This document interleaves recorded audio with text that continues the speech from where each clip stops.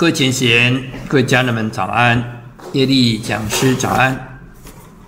好，点传师早安，家人们早安，大家欢喜来读圣训。当清晨的钟声敲响，唤醒我沉睡的心灵。一天的早课即将开始，学院的菩萨们陆续上线，一切都是自动自发的精进。大家欢喜来读圣训。让我一次次与仙佛更亲近，感谢仙佛教导我幸福的道理，给我汲取太和正能量，让我全身充满太和元气。这是幸福满满的修行功课，也是心灵提升的美好资粮。愿一切都平安吉祥，愿世间都和平安康。感恩上天的慈悲，感恩上天的慈悲。今天我们要继续来到第一百二十八次的《白羊生信伦理研读》。那我们今天要继续来读的，呃，一样是为人魔而不忠乎？好，我们再把昨天读到的啊，继佛讲孔子啊这一段，我们再来复习一下。来，书间。我我恩师说孔子，当时拜他为师约有三千人，跟他一起受苦才十个，直到老他的大道理不让人接受，他亦不颓丧，仍三诗书，定礼乐，赞周易，作春秋，将诗经、书经不雅之篇删掉，将礼记乐之内容重新订正，注解易经。著作《春秋》，扬善贬恶，当时之乱臣贼子恐惧，为此时他的大道理不让人接受，也要死后五百年的人接受，此种精神伟大吗？到现在，距离孔子时代已有两千五百多年过去了，可是现在世界各地都在提倡着孔子的思想，孔子的大同思想，世界各国和平会议中讨论。要想世界和平，用科学利器是行不通的，一定要搬出孔子之世界大同之理想才可以。用武器输赢来求世界和平，如缘木求鱼，他上树想去捕鱼一样，是绝对做不到的。所以用武器、科学利器求和平，结果是你死我不活。你们要知道，现在我们所办天道之事。乃是国际大事、世界和平之事。什么开罗会议、华盛顿会议等和谈会议，结果是战争还是战争？他们会谈一百次，可是杀人的仍杀人，放火的照常放火，抢劫的照样抢劫。世界可有和平？所以说，我们所办的才是真正是世界和平之大事。你看，我们办一场。解决了多少家庭之事，改正了多少人之内心向善，减少了多少麻烦，消去了世界多少灾殃。最起码修道人也知道忍耐，一忍耐已化消了多少事，知道吗？我们接下来请智恩帮我们复习一下这一段。天然古佛慈训，至于道者愿刚强，份所应为责任扛。承先启后而继往，典范素习道德章。君子之言不过辞，动不过则立标榜。抱朴见树还其本，为何己行称贤良？忠以为直，人为畏。搞其不善，终人匡。终日前前系替弱，修德敬业培信王。合理合意更体人，本若执心未道场，心发则愿众生度，愿力成就品莲香。灵妙天尊慈训，灵山一真佛，清净无师德，妙智煎熬过，挫折亦快活，天因法语过，世界真祥和，尊天而祀命。人人修弥陀。好的，我们昨天 来到这一段哈，谢琴来帮我们读。灵妙天尊慈训，圣宗如始无败事，思不出位礼自彰，真功实善有条理，安稳行事亦不慌，进退难处事故广，时踏道时踏道路一五长，己任承当精诚志，规步千里立志强，待人接物认真功，手脚利落互助帮。好，佛老师灵妙天尊勉励我们哈，做什么事情最重要就是要哎始终如一，甚至呢要慎终如始啊，就是从头到尾啊，呃不要改变，始终如一了啊，这样就无败事，这样就不会把事情做得很糟糕啊。师不出位，体自彰啊，所以一般人呢。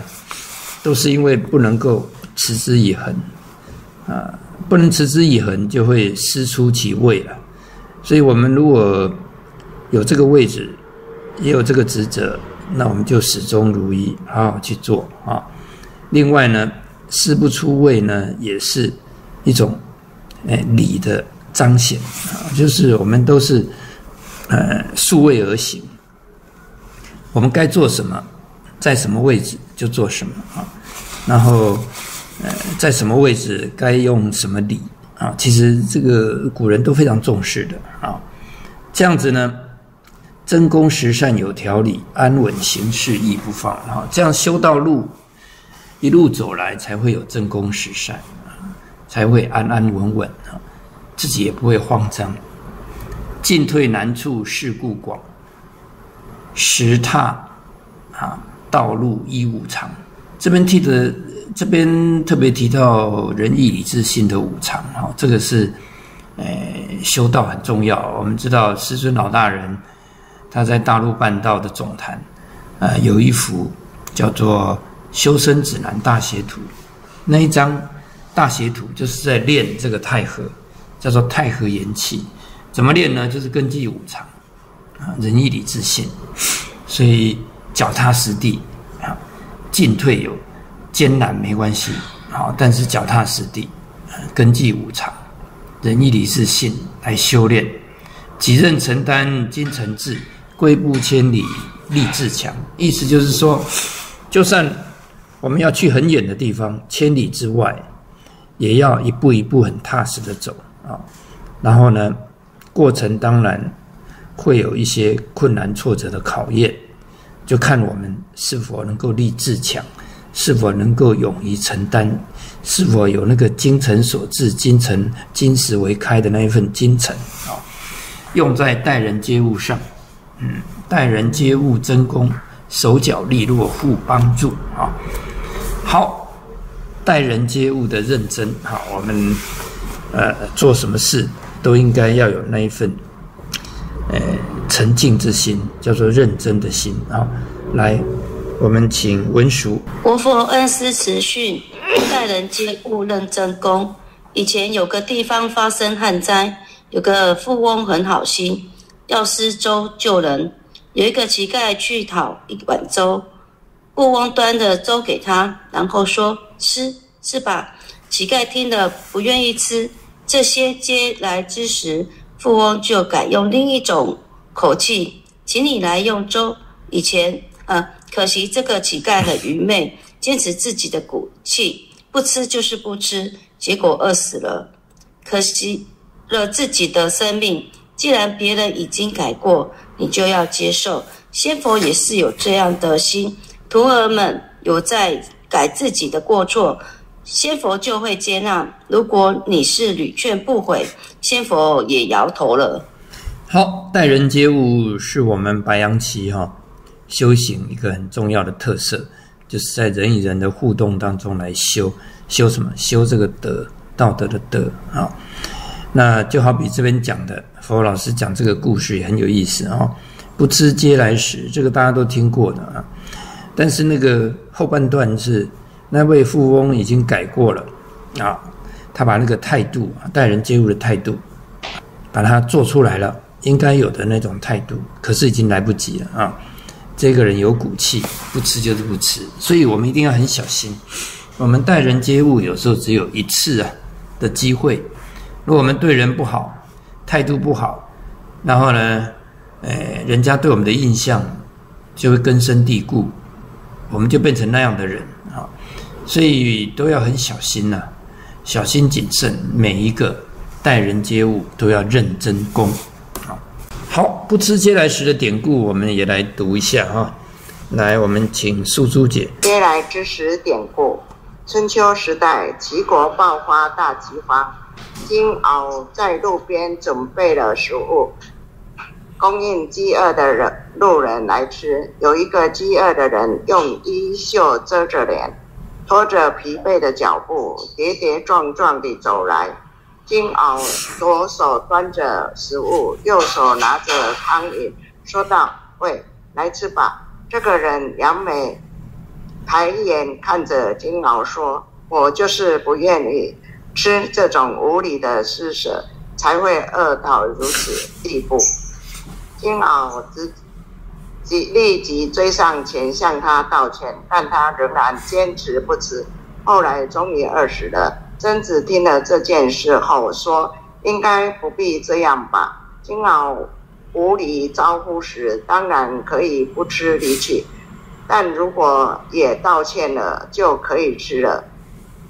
好，这个钱钱熬啊，这个就是战国时代呃发生的一件呃事情，在历史上把它记下来，变成大家传颂哈。啊，这里面有很多的很有趣的，可以值得我们去醒思的。好。那个所讲的，就是真的就是人与人之间啊，怎么样子能够有个很好的那一种相处的态度互动啊，这个都是我们修道人要学习的。好，再过来我们请陆姐。灵妙天尊慈训，以义诗人达共事，情深厚谊合一堂，无所不为勤恳意，立扎根基立命方。纯养醒察去贪妄，凡夫好斗总一伤。全力以赴本分守，以义为利可平章。以上训中找一字，中细听训中训。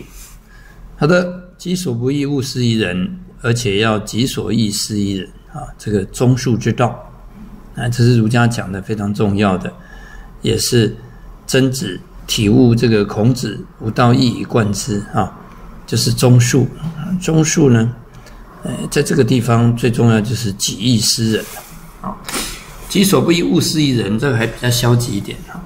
己欲施人啊，就是我所喜欢的，哎，别人应该也会喜欢，所以把我喜欢的给别人，啊，这个就是人与人之间相处了，很重要的啊。因为我们白羊修行法门，就是在人与人的互动相处中，啊，要把它做得圆满，哎，就像情谊深厚聚一堂一样，大家非常的和乐，合一堂啊，无所不为，勤恳意，立扎根基立民方啊。对我们而言，什么事情都可以做，只要能够度众。能够利益众生，就像菩萨，哎，再怎么辛苦他都愿意，只要能够对众生有好处，能够帮众生离苦得乐，他都愿意啊。当然呢，我们要做这样的事情呢，自己本身根基，根基呢，立扎根基是什么意思呢？就是我们的道学啦，啊，我们的品德啦，啊，我们的火候啦。啊，我们的各种基本的修炼呢，啊，这些一定要做好。基本的修炼当然包括孝啊、悌啊，好，孝悌之道一定是，呃，最根本的嘛。这些都叫做立命方了，啊，都要把它做好。然后呢，平常纯阳醒茶的功夫不可少，因为这样可以去除我们的贪妄。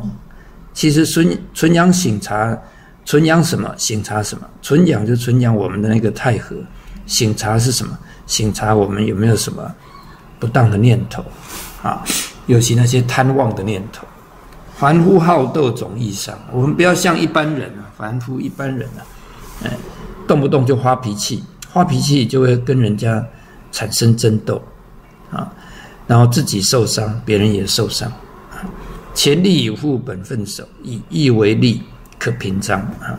努力的把自己的本分做好，以利益众生为考量，嗯，就是说以义为利，可平章。很多事情都可以啊，化干戈为玉帛啊，甚至呢，大家都可以心平气和啊，都可以哎，把这个美好的德性彰显出来。好。春阳醒茶去贪望哈，来我们，呃，我们请美心。春阳醒茶去贪望，我和恩师慈训，你们要笑话老师我吗？要学老师这样喝酒好吗？不好，老师喝酒这是不得已的事。我们在宋朝时，若不装疯卖傻，就做不了什么事，并且有人想害我，我那时同修者皆是大将。我是最狼狈，我要的得到像那你们如此简单，做一三叩首，眼看佛灯几点，我内心真正在修。我那师兄弟皆修表面，老师要传道给我，我害怕其他兄弟师兄弟会害我。好，这是我们佛老师讲他自己哈，哎，不要只修表面，那些大师兄啊，师尊。就是济公佛佛那个时代了哈，他那些师兄大师兄哈，他们都是修表面的，哎，那真正在修内德、修内心的啊，哎，内心真正在修的啊，就是我们嗯，当时的这个济公老师就是这样的，所以最后呢，呃，老师呢就要把道传给，就是济公老师的老师。就要把道传给他，哎，但是又怕其他师兄害他，所以这个人心是很可怕的哈。来，我们请丽萍来继续帮我们读。啊，要学哪一样？你要学我不洗澡，抓身上仙丹，换够给人吃，治好别人病，可以吗？不要说一年不洗澡，只要三天不洗，就已汗臭肮脏不已。可是我那时从来不洗澡，也不会汗臭肮脏，是何原因？你可知？同样是汗，有的汗流出来是香的，有的是臭的，差别何在？这就是动念发心不一样。你虽发心与我一样要度众，但动念未必是向我济公。你总有你我之分，有私心，有私欲。是否私欲过多，损你精神？是，若还存恨人之心、生气之心，则心内有浊毒存在，发出来之汗则变臭。这样了解吗？好，所以，呃，济公老师跟我们讲到这一点呢，其实重点就是我们有真修实练，包括我们吃的东西啊。呃，还有我们的起心动念，我们都不会吃那一些呃不好的、肮脏的啊。我们说垃圾食物，甚至呢那些荤食，有的都很糟糕的啊。那流出来的汗当然很臭啊。那修道人都是吃天然的、生鲜的、有机的这种蔬食是最好啊。呃，这个呢，让身心得到最大的净化、干净的净啊。我们的心也比较不会有一些妄念、欲望、起心动念啊。这个对内修、对我们呃纯养心性啊，都会有很大的帮助。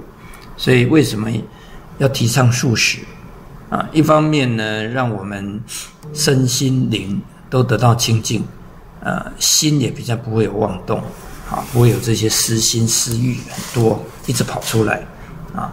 甚至连流出来的汗都是香的啊！当然要达到那个境界不容易了啊！那是我们佛法老师的境界。好，继续，我们请淑娟来帮我们读。与妙天尊慈训：为人当处事诚恳，皆勿认真，功夫扎深，脚步踏稳。忠诚的忠，行草写成，宋字不删，传世如今，云火？会无前途，心喜欢。新的一年，知习前，好的开始，起脚步，意志力平，法圣贤。今年过错，仔细想，悔过除旧，心融前，好自努力，前程创，一颗真心表苍天。忠孝为首，培德范，行德从德，度婚前。好，这个是在新年初一的时候哈，大年初一。那灵妙天尊佛老师勉励我们，做一个人应当诚诚恳恳的来处事，来待人接物啊。刚有提到白羊修持的法门，它的特色就是在人与人的互动当中来修这个德，所以一定要呃把那个诚恳的态度啊，态度最重要的啊。然后呢，认真的那一种精神，待人接物，这个可以看出一个人。那个修行的功夫是不是，哎，做得够扎深啊？那个火候也是在这种当中来锻炼啊。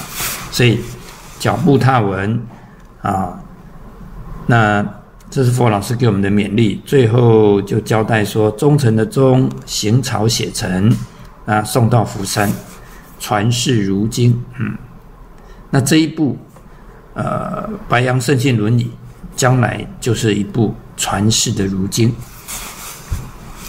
然后提到说，会悟贤徒心喜欢，新的一年知喜浅啊。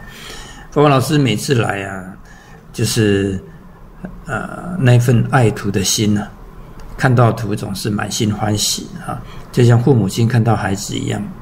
好的开始，起脚步，立志立品，法圣贤。当然，我们佛老师。千叮咛万交代啊，也是希望我们能够立志立品啊，好好的发挥我们，诶，今生今世能够得受这么宝贵真理大道，发挥我们这个有用之身，立志立品，然后效法圣贤，去努力，不要一年错过一年啊！今年错过了，没有好好努力，一下子一年过了，你看悔过除新啊，除旧新融前。所以以前做的怎么样没关系，哦，忏悔静静，重新开始，心融前重新开始，好自努力前程创，所以我们好好的努力，前程开创，一颗真心表苍天，那一份真心，表苍天啊，其实上天要我们的不是要我们有多少啊那个金钱的奉献，是要我们那一颗真心。忠孝为首，培德范，行德从德，度坤乾，修道不忘度众。但是我们要有德性，才度得了众生呢。哎，要不然，就算度来求道啊，也很难成全。还是要靠我们自己的内德的涵养，行德从德，才有办法。培德啊，非常重要啊。好。立志立品法圣贤，我们呃来请呢智恩。立志立品法圣贤，李李铁拐大仙慈训，智古圣贤垂下典范，神光二祖断地求法，文王困有理而演周易，孔圣受陈蔡绝粮，消积法坛之窘境，吕仙主经千锤百炼，万磨考验一验真心，练就纯良体。观观历代圣贤，想想自个儿是不是尚有许多不足之处呢？如果跟往圣先贤、跟前辈、老前人、前人相比，是不是还不够？真修实办，还有很大的进步空间。好，这边就讲到自古圣贤垂下典范，都是经过千锤百炼啊。神光有断背求法，文王被困在哎有理。关在监狱里头哦，在那个时候他演周易啊。那孔子呢，有陈蔡节粮，消积发坛之辱啊。李先祖也是经过千锤百炼哦，万磨万考啊，以验真心。哇，真的是不容易，所以练就纯阳之体。所以我们自个呢，看看以前的这些圣贤，历代圣贤，再想想自己，我们又能够经得起多少的锻炼呢？再看看。跟我们比较相近的，哎，这些前人辈、老前人呐、前人呐相比，人家的那种真修实练，我们自己又能够有多少啊？好，来，我们呃，请写琴。立志立品法圣贤，贤士们要知道，这个色身是一块臭肉，这个肉体也都是借的。你们的本心本性，自己是否照见？如果终日为这肉体，让眼耳鼻舌身意把自信佛性拉着走，让自信佛做六根六尘的奴隶，造下无边的罪业，然后让你的自信佛来担，真是叫诸天仙佛感叹。贤士既然真心想要修办道，可得清醒一点。哦，佛老师，呃，也常常这样子勉励我们哈。那这个。哎，李大仙也是这么讲，我们这个色身就是一块臭肉了，哎，叫做臭皮囊哦。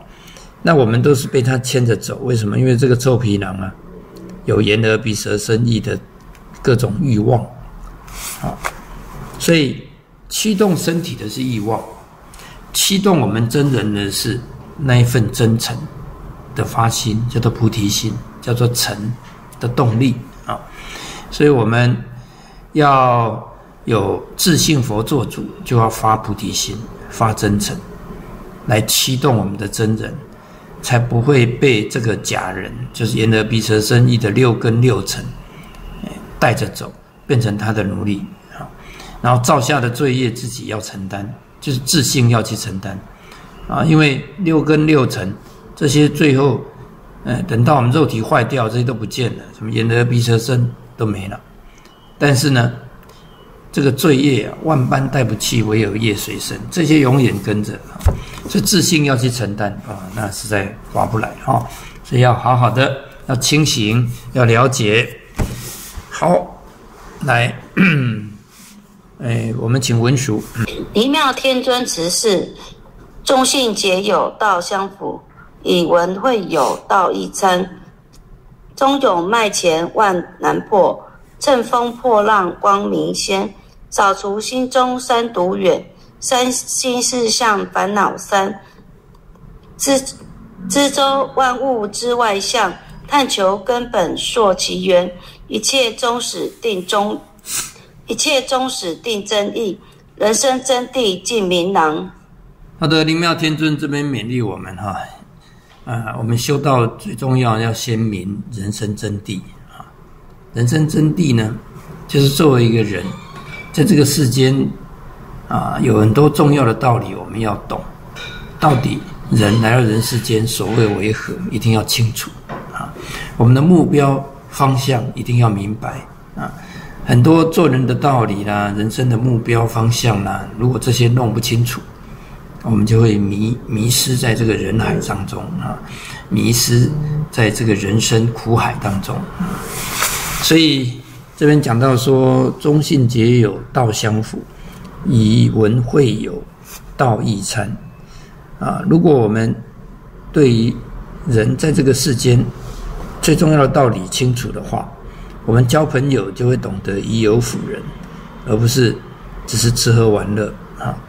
那同时呢，中勇迈前万难破，乘风破浪光明先。同时，我们遇到任何困难挫折，我们也会有那种，哎，勇敢承担啊，勇往直前，因为我们有个目标方向啊。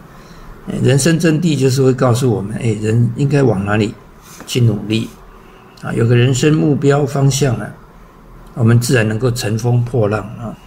另外，扫除心中三毒，三毒是什么？贪嗔痴。心中的这个三毒啊，会毒害我们的心，但是我们可能会不知道啊。人的心中毒，有时候自己并不知道，所以呢，一定要有人生真谛的这样子的认知启发，你才知道说哦，原来我的心这些不好的观念那种毒太深了。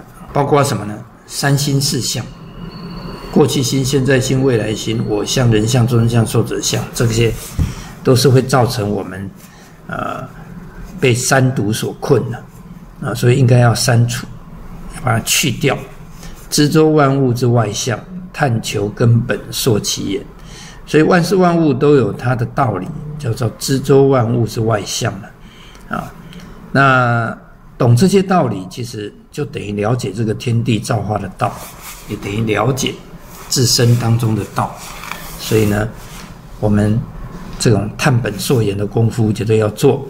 一切终始定真意，人生真谛尽明然。好，好的，今天因为时间的关系，我们就读到这里了。好，课前请坐，行住坐卧都可以。好，那我们请端坐。哎，眼观鼻，鼻观心，菩萨低眉，意念呢收束回来。到冥思一点，当我们有感觉的时候，就可以深呼吸，啊，利用玄关那个意念，把呃天地的太和元气也引进来，让它充满全身，到脚底再呼出来啊。这种意念的牵引呢，就是从玄关这一窍啊，叫做玄关呼吸法。也是前身唯一的阳窍，啊，把这个太和元气，就是天地的正气、纯阳之气，吸纳进来，让它充满全身。修道人呢，一定要让自己全身充满着太和元气，那种纯然的正气，身体才会好。好，今天讲到说，我们人呢，很容易被三毒。贪嗔痴毒害我们的心，这从哪里来呢？就是从我们的六根啊，呃，六尘，如果没有管好，它就变成六贼啊。这六贼啊，就很容易啊，把这些毒的东西带进我们的心。怎么办呢？所以我们要常常啊练太和，保持心平气和，因为。贪嗔痴，尤其嗔就是我们的脾气了，贪呢就是我们的习性了啊，哎，痴也是我们的啊那些呃负面的、不好的、无知的、无名的那些东西，所以我们一定要有正能量来对治啊。当我们起一个不好的心念，好比说不应该有的妄念，通常都是透过眼耳鼻舌身意跟外界接触。所产生的，啊，我们之前常常跟大家讲，当你觉得你的脾气上来的时候，你要练太和，啊，但是没有脾气上来的时候，你的起心动念呢，如果有不当的妄念，你也要练太和，啊，用太和把那个妄念给化掉。如果心觉得自己的心呢？不清净，常常有一些欲望啊、妄念啊产生，那也要练太和啊，因为这些都可能是因为我们眼耳鼻舌生意跟外界接触，比如对眼睛看到一个很美的东西，就产生了这样子的欲念，哇，那就代表说我们要赶快再练一下太和，把它化掉，不可以让它在心中一直存着，好，所以。日常生活当中，行住坐卧中，啊，不管，哎，我们在任何情况下，其实呢，心平气和，常保太和，是最重要的，啊，那个是身心灵来到最好的状态，跟天地纯阳之气相对接，啊，人呢在这种状态下，那是最幸福的，因为全身充满了正能量，而且呢。身心灵都达得到天地间最好的那个正能量的滋养，对我们来讲啊，修道其实最重要就是要能够守住这一点啊。好的，今天我们就跟大家共同探讨学习到这边，那也感谢今天参与带读的前贤，谢谢大家，也祝福每一位线上的我们的家人们。平平安安、顺顺利利，好，充满正能量哦！谢谢。